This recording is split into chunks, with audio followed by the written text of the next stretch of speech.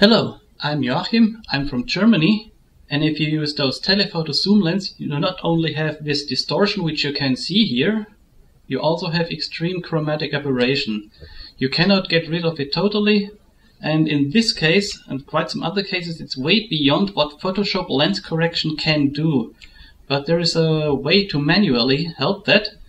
So when we have it here, we run in that case a script just to show what could be the result. You can see still the color fringing around here.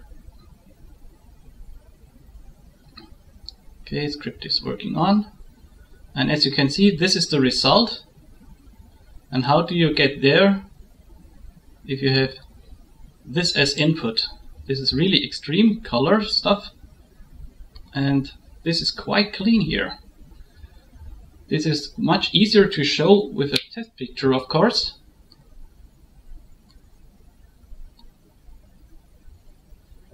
So this is also just a test picture, so you can see the extreme color aberration, which is outside the center. And the first step, in that case to do it manually, the first step is actually finding the real center of the color, of the chromatic aberration. So we have to layer it and search where is the center. It should be around here. Let's see, it's from the left, bit right, bit right, yes. There is the color starting again, and here's the color fringing starting again as well. It should be around here, the center. Uh, more like here. Now we have centered it. The next thing is to duplicate the layer. We want separate channels for red, green and blue. So layer duplicate it again. And we give them good name. Red, green and blue. We also have to set those layers to lighten because normal way it doesn't work here. You should add you should add those colors, which we are doing now.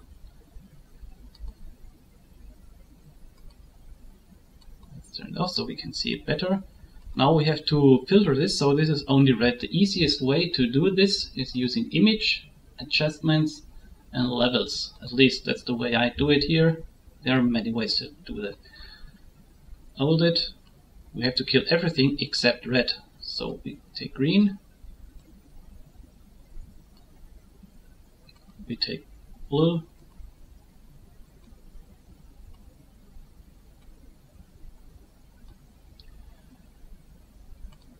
Now we have to do the same again for the green layer. Levels, kill everything except green.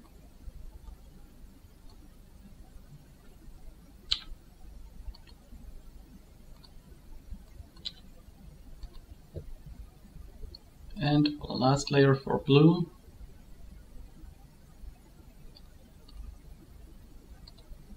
we have to kill everything except blue, of course.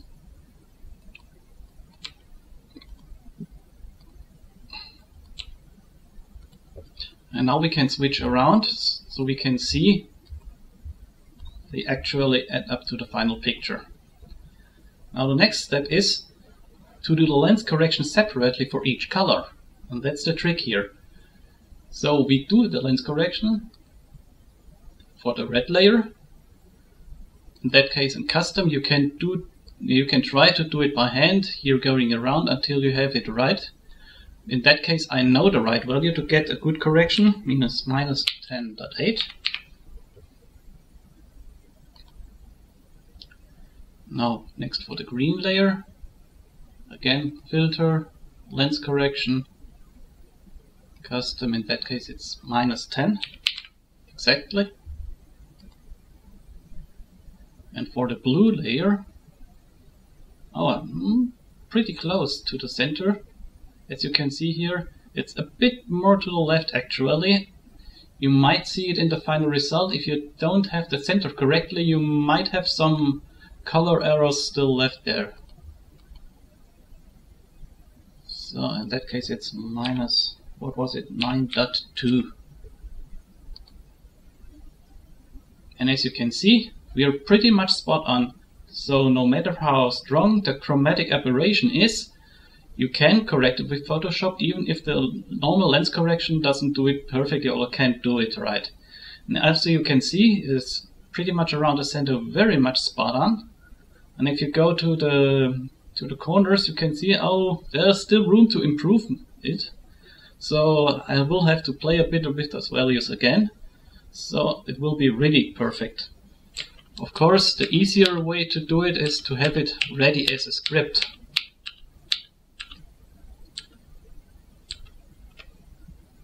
In that case, this one. Oh, and I forgot to correct the center here again, so you will see way more colors. Working on it. As you can see, the color fringe is still stronger just because I forgot to set the center for the second demonstration here. Well, bad luck. And if we go back to the first picture, this is what we want. This is our output. Can also check here on the right where I hit the limits of the correction. There's also a limit somewhere. You can fine tune it. And if we compare it to the original, uh, colors are without end. So, good luck, have fun replicating it.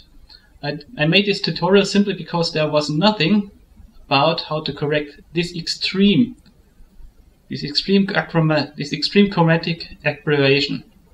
Okay, there was no tutorial to correct this extreme aberration. There is only normal lens correction and it cannot handle this strength of uh, errors. So, bad luck. Bye.